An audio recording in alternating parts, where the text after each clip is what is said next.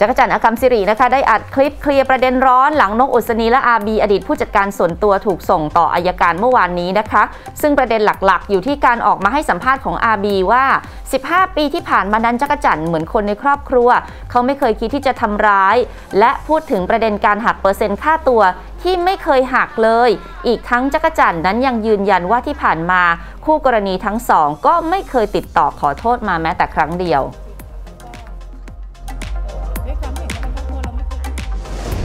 จากที่ครูกรณีจันออกมาพูดว่าที่ผ่านมาเนี่ยตลอดระยะเวลา 15 ปีเนี่ยไม่เคยคิดทำร้ายจันเลยนะคะ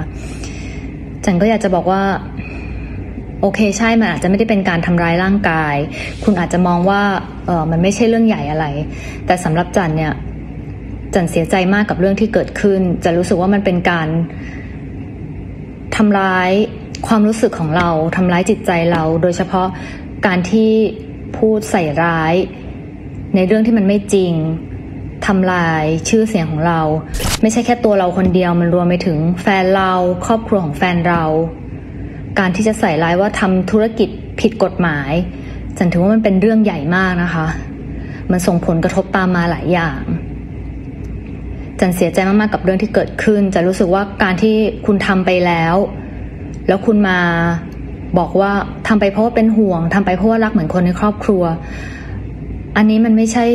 ข้ออ้างของการที่คุณจะทำแบบนี้กับใครได้ ถ้าคนเรารักกันเหมือนคนในครอบครัวมีอะไรก็ควรจะเป็นห่วงพูดจากันดีๆ ไม่ใช่สร้างเรื่องสร้างราวแบบนี้เกิดขึ้น คนที่รักกัน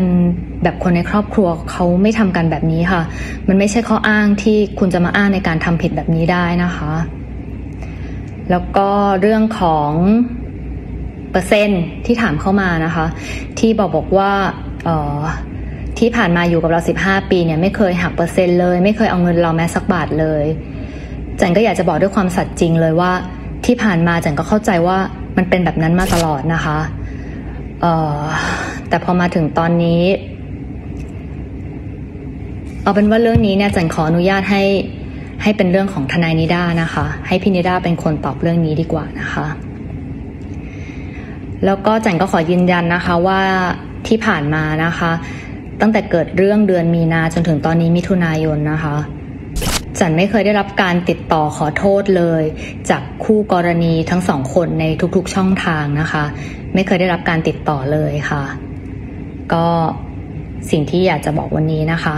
ส่วนเรื่องของคดีความอะไรก็ปล่อยให้เป็นไปตาม